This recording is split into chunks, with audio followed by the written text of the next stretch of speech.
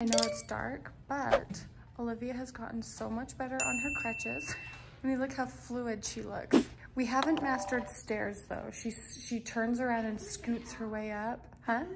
You feel like you have? Upwards? Oh, easily. My, Really? My triceps are going to be amazing. Do not quote me on that because I don't think I pointed to the right muscle, but same. Her arms are getting My very strong. muscles are going to be really strong. Yeah, it's a little cold this morning, so I got the fireplace on. I just cleaned the lens. I thought it was like all foggy and weird because it's really dark. Nope, just my camera's dirty. Sorry about that. Here's Olivia's knee. He said all of the white is um, fluid, like inflammation. You can see right here, there's fluid in the front of her bone, fluid in this bone. And he said you only get that with impact when you, you know, disrupt that. You can see all the swelling behind her knee. And I'll show you on the diagram that he showed me. So here's the kneecap and here's your meniscus in between your thigh bone and your um, calf bone. So what Olivia did was she aggressively hyperextended her leg this way. So your knee normally bends this way. She hyperextended it this way. This bone and this bone crunched together, causing some pretty good bruising on the bone, putting fluid inside the bone is what he was telling me.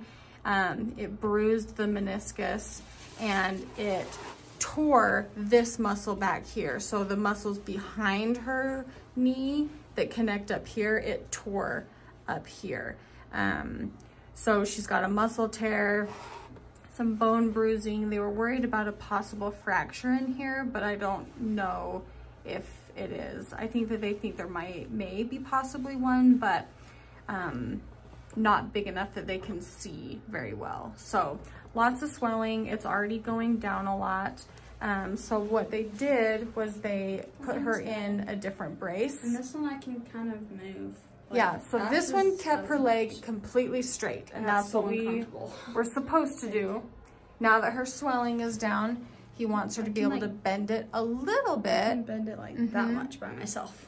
But he Yeah. got it to be like more like this, and then past that, I was Not like, "Don't quite. do that." Not quite. It was more like 90. well, it felt like this, I'm and then sure it like did. that. I was like, "Oh my gosh!" I'm sure it felt like you did Yeah. more, but he didn't. It was just barely past 90 degrees, so. Oh, my leg was like shaking me. He's like, "See how far you can bend on the I table?" I, was like, "Oh my gosh!" I I was know. like, "Please don't pop." So we will still continue to use the crutches. We'll continue to use the brace, and he wants you in it most of Most the of the time, he's like, "Until you can walk like Yeah. normally." he's Well, even when you can start walking normally, he wants you in the brace because what he doesn't want is for you, this prevents you from hyperextending it. He doesn't want you to keep hyperextending it because you'll keep tearing that. He wants that to be able to heal. So we will not be taking the brace off. and when we're outside, because it's icy, we can lock the brace I'll so that she can't bend it or hyperextend fall, it. Then I'll just still stay flat and not. Yeah, and before I forget, he gave us some exercises to do that we are actually going to do. Usually you go home and you never do the little exercises that, that they give you, but we really want to do the exercises because he said physical therapy was optional. So um, he said that if she feels good on your own, you don't have to do it. But if we feel like we're needing it, then we'll go in and do physical therapy. The reason they got us so quickly into the doctor, because all orthopedics were pretty booked, but they rushed us in because he said the MRI was pretty bad. But now that he has you in person, he can see that she's progressed and got better quickly. So that's good. And so if we need to come in for another appointment in January, then we will. But he said that's also optional. So uh, That's good news. And if Yeah. I healed quickly from Friday to Monday, Thursday to Monday, or Thursday to Monday, then I think we're doing really we're good. I think we're We doing really good. before we leave, and then we can go. But when we're in Florida, he did say he wants you in like a sleeve brace I don't know that has the little but- metal things. I do. Mom knows. Like I've gone through every brace there is. I actually have. Yeah, he called me for about 20 minutes. Oh, that's so fun. We stopped at the post office and we saw an old I, I I saw we saw an old friend at the post office today on the way home and I was choking back the tears. Like I just I couldn't even look at him without my eyes were just filled with tears the whole time. I'm sh- I hope he like he's old. He has wisdom. He knows that it just felt good for me to see him. But so he called you. Oh yeah. What did yeah, he say? ch- Just chit chatted. He wanted to know everything and how things are going, and he's already planning on.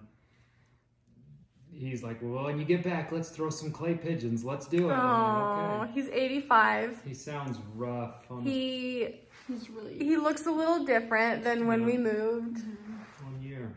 One year makes a really big difference in people's lives. Um, me and Olivia were sitting here cleaning these crutches off, and I was thinking, um, it just like I was thinking, I wonder what my mom did when I was on crutches because I don't remember her wiping the bottom of my crutches or anything, but I know I had them in and out of the house, you know, and.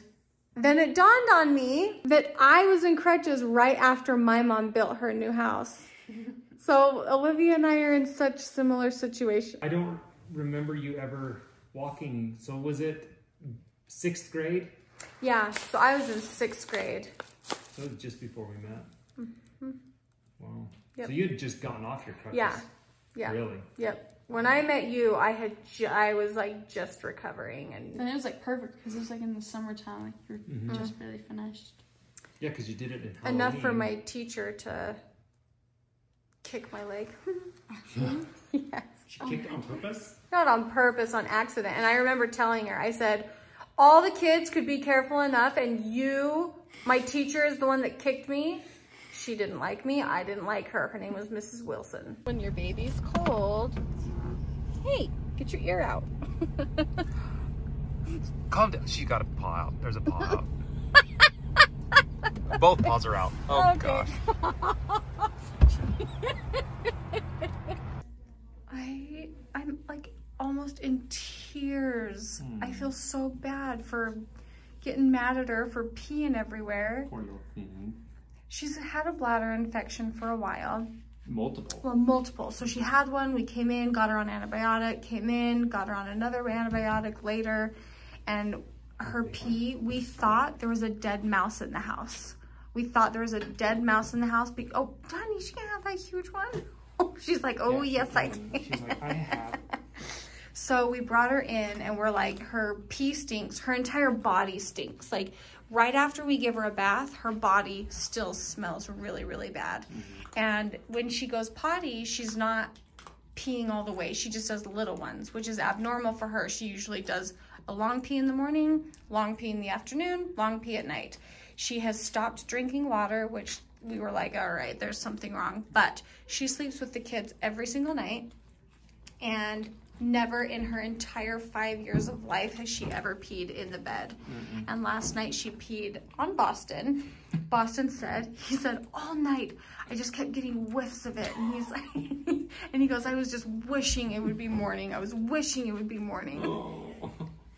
like, why didn't you come and get me? I would have changed your sheets right then and there Oh, and put you back to bed.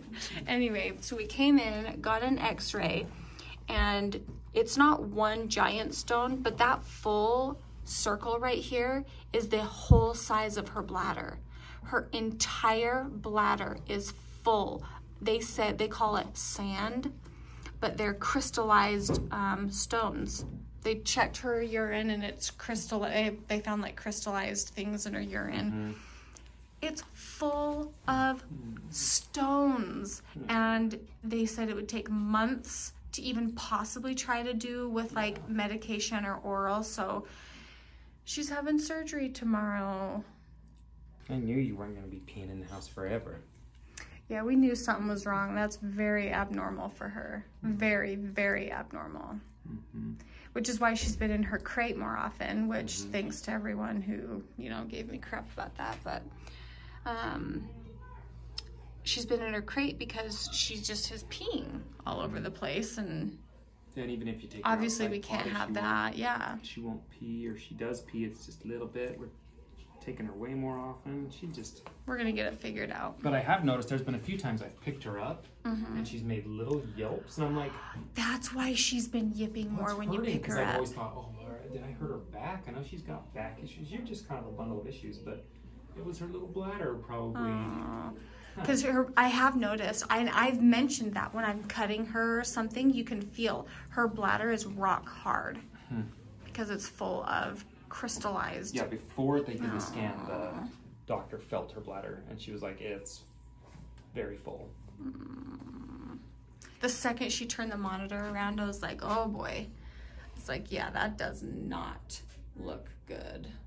That's your pretty body. I'm just happy it's not something.